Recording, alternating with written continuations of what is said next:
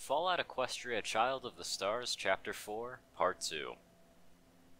I wasn't just gonna leave her back at Cocktail's, even if I knew it would be so much easier to simply move on. A part of me wondered why he would let her go back, yet the saloon owner was an important slave, I mean, pony in the town, and I doubted his opinion would make any real impact. I sighed to myself quietly. No, I couldn't leave her. My mind wouldn't let me without twisting my insides up with guilt. But out there, she wasn't safe, even if she thought that she could handle it like last time. Damn it, Dragon, what is it with you? I cursed to myself. Then I just stopped, evaluating my plethora of problems. Firstly, I had a job to do. Secondly, I had a mare that I couldn't bring myself to abandon. And third, I had a friend that I didn't wish to disappoint. No solutions really presented themselves to my mind. Come on, Brain, you frisky little fucker. Give me some solutions.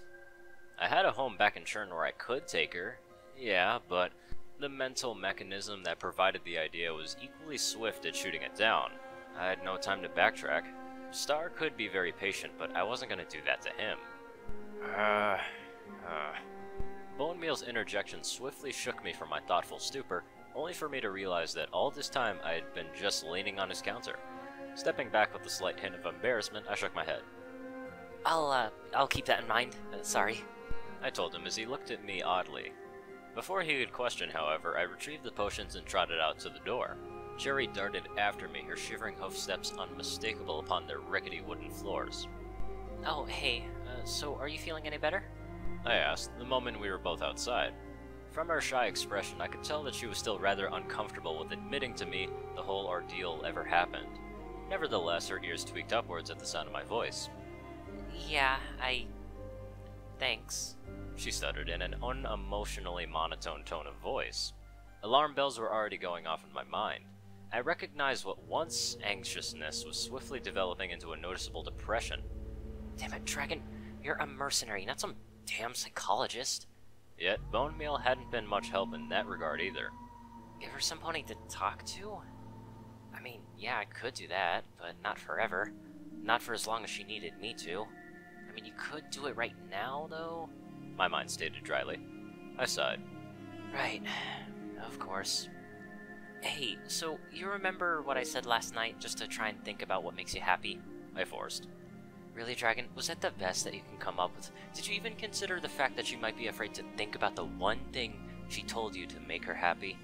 Thank you, Brain. You're such a supportive friend. Cherry looked up at me. Thanks, but I don't think that will do me much good around. Her sentence trailed off into an uncomfortable silence as her eyes leveled up with the saloon. A portion of my anger exhibited itself as I ground my teeth in anger, the muscles in my limbs flexing and relaxing as I breathed heavily and exercised every ounce of my self-control to not storm out of the town, capture a raider, and use a potato peeler to release all of my hatred and fury for what their treatment of Cherry had done to her. I Celestia, if I could drag Cocktail out into a raider den and see how she would like to spend a day with him, I'd be a far happier pony. She'd probably feel just at home among those scum as Mr. Red enjoyed using them like chess pawns. To be exploited to the fullest extent and then sacrificed when he no longer needed them? I assumed, at least. Oh, look, that's not the point. Regardless of my vendetta against Cocktail, Cherry still looked terrified of returning to her old place of employment. Furthermore, it seemed that she thought that she wasn't good enough for even that. If I left her here, I'd spend every moment resenting myself for plunging her back into that degrading and diffident enhancing environment. Not only that, but I'd be leaving her to suffer alone, with the extra mental baggage of being a raider victim. I really hated that long dormant part of my consciousness. Um, so, how did you even end up there anyway? I asked as casually as possible, dragging my thoughts away from the previous subject as I began to trot across the Money town yard. She looked slightly shocked that anyone was even interested. Nevertheless, she began to follow me. Then she sighed, her eyes glowering at the dirt. My family were traders. My mother, father, and sisters were all earth ponies, so it was quite the surprises when I came along. She smiled at that memory, moving along to my side instead of being my shadow. I slowed slightly, focusing my full attention on her story. I do have some skill when it comes to bartering for things like guns and, you know, other combat-related stuff. My sisters were really good with all those fine little things, uh, locks in particular. My father taught them, and even they were earth ponies, and they could really get into anything. but when it came to teaching me, She trailed off and then proceeded to snicker slightly. oh well, if you're taught how to handle things fine by hoof, then precise levitation only triples those skills. She appeared to be almost giddily for a fleeting moment at that latter part, like it was some great graduation. I felt strangely happy for her, even if her talent had obviously been discovered years ago. Picking locks? I had to admit, for all my magical skills and weapon tinkering, lockpicking was not something on my list of abilities. Well, not high anyway, but I mean, I'd try anything. So, say I had a safe, oh, I don't know, uh, locked in a vault. Could you use your lock-picking skills to open it? I asked casually, waving a hoof in the air in a vertical circular motion like I was turning one of those rotating vault mechanisms. For some odd reason, Griddle's microstable came into mind as I asked. Cherry's smirk widened, smilingly unable to hide her pride. I have cracked a few safes before. I mean, it would depend on the vault door style, its locking mechanism, and for the time constraints I've been working with. Uh, so my results will vary depending on those kinds of factors, you know. She told me, my heart fluttering again to see her become so vivacious. She was just so adorable that I could. Brain? No. I started refusing to yield whatever my thought was willful and drudged up this time.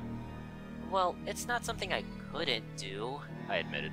but if Star asks, I'll deny it. I added with a playful fake embarrassment.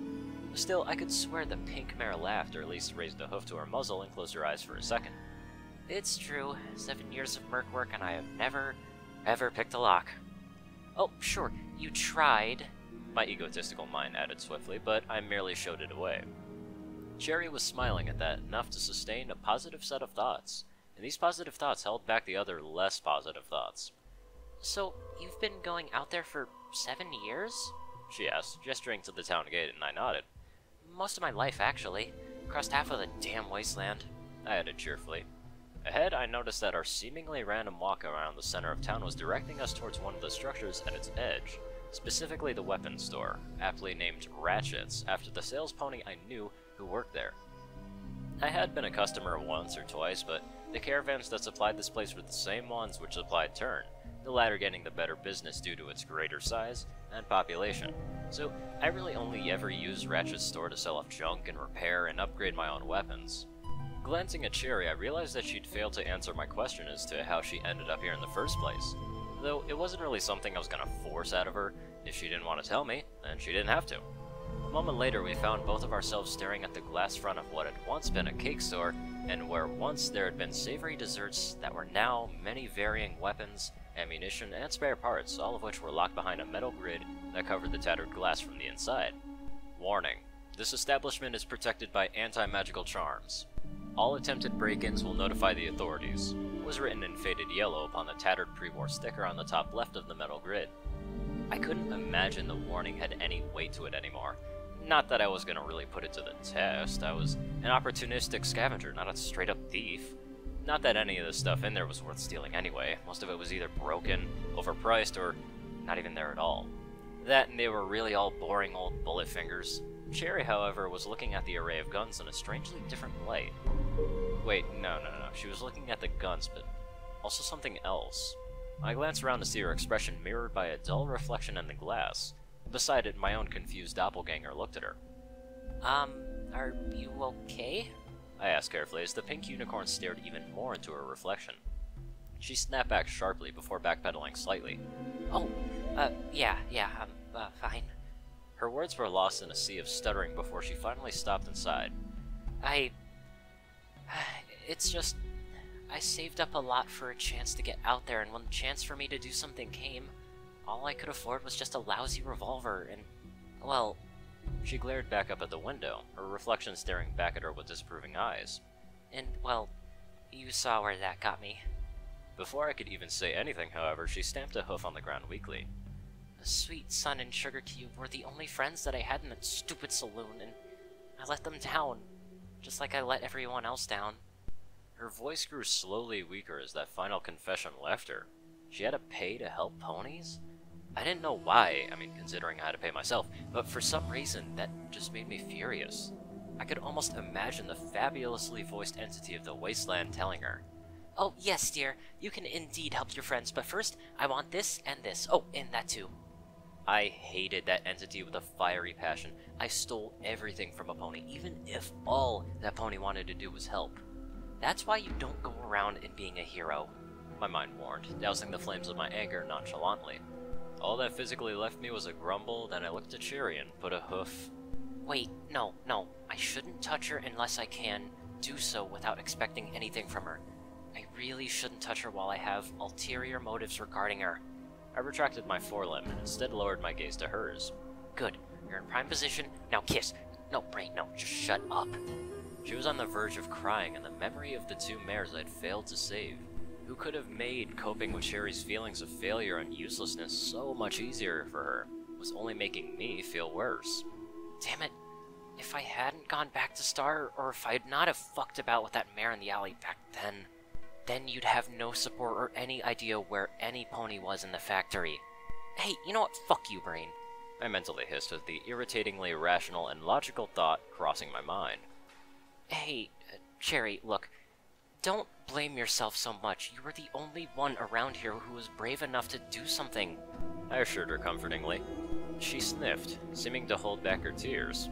Yeah, and I got what I deserve for being so reckless she countered in a despondent tone of voice, wiping her nose with a hoof. Oh, Celestia, where was the smiling Cherry I'd seen just a moment ago? I thought to myself as my heart sank seeing her hurt like this. Damn it, Dragon! Buck up! You just got her there a moment ago. You can do it again! My mind told me firmly. Okay, so you said you wanted to get out of there and make a difference. Is that correct? I asked, hoping dearly that she would not suspect the vague chance in conversation. She looked at me, her expression almost bringing my fears to life, but then she nodded. You think I can? I pressed, trying to make my words as admirable as possible. Unfortunately, her look turned skeptical. I'd imagined her recent experiences had dashed her hopes of becoming a pony that could make a difference, so I took a step back, raising my head. Expectantly, hers slowly followed. Now we were both looking at our reflections in the glass and the guns beyond. You know, I never met anyone who can pick a lock, and I rarely find myself out on the winning end of the deal. Okay, so that last part wasn't wholly true. I can get most bucks to part with as many caps as if I wanted to if I tried. Mares less so, but my attempts were still admirably embarrassing for those involved. Look, Cherry, the point I'm getting at this is no matter what anyone else says about this town or thinks about you, about what you did, knowing you did it means the world to ponies like me. I blurted out. The mere idea that there was someone out there, excluding myself and Star, who'd run into a raider den to help someone else occupied much of my thoughts. As I looked back to her, she appeared dumbstruck. Even her encroaching depression couldn't really hide her shock for long. I had no idea whether it was because uh, I, a big scary mercenary pony, had admitted it, or the fact that I, as a pony who wanted to do it right by other ponies, had admitted it, but she seemed to have returned to me not depressed and miserable, but curious.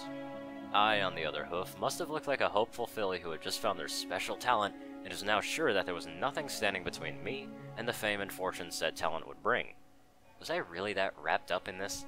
Saving ponies? I mean, yeah, it was right, but I didn't want to become a paragon of goodness. I didn't want to be a hero. Cherry sighed, turning back to the glass window and pressing a hoof against it. So, do you really mean that? she asked, as if desperate for me to say yes, but expecting nothing other than a no. I took in a deep breath. Of course. Like I said, it's been a really long time since I met anyone who would do what you did. I admitted softly, scuffing my forehoof against the floor. Brain. Wait. No, this was actually me. I was behaving like this. Goddesses, now.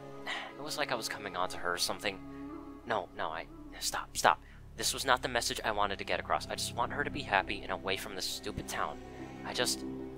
Cherry, how good are you with an actual gun? A real proper thing, not really...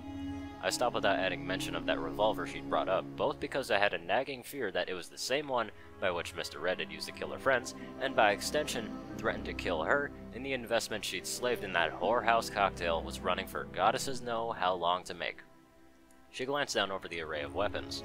Part of her seemed lost in disbelief, and the other bore a small hint of regret and guilt. Yet most of it was fought back by a firm determination my words had seemingly relighted. I did have some skills, though I was a bit rusty. I mean, Cocktail didn't really let us practice, but I can shoot. Um, let's see. Rifles, revolvers, obviously. Oh, and I did fire a magical energy weapon once or twice. She stated, pointing a hoof to my weapon-laden Barding. I smiled warmly like she was some little fool subtly listening to all the reasons that they were responsible enough to stay home alone or looked after some wearied pet they dragged home. I looked back to the window with a sigh, my reflection looking back at me, as did those of many other firearms. Damn it, Dragonfire! I cursed to myself, looking at the reflection of a white unicorn looking back at me. You better not regret this. I looked back to Cherry, noticing the long pause had caused her to deflate ever so slightly, but I was sure my next words would fix that. Cherry, what would you say if. I paused the words catching in my throat, her ears perked. Damn it, do not regret this. So, how would you like to come with me when we leave? Footnote Level up. New perk added Quick Thinker. Level 1. You're almost as quick with your brain as you are in your hooves. Gain 5 plus intelligence. Companion added Cherry Pin. What's taught with one's hooves is only improved by one's horn. Gain plus 5 to lockpicking and bartering skills when traveling with this companion.